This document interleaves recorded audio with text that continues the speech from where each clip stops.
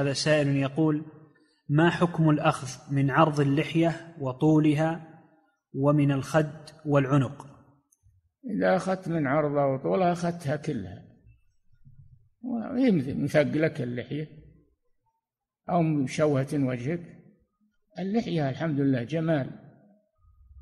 اللحية جمال للرجال مفارقة بين الرجل والمرأة وهي نعمة من الله عليك. جملك الله بها فلا تحاصرها وتجيها من هنا ومن هنا وتضيق عليها. نعم.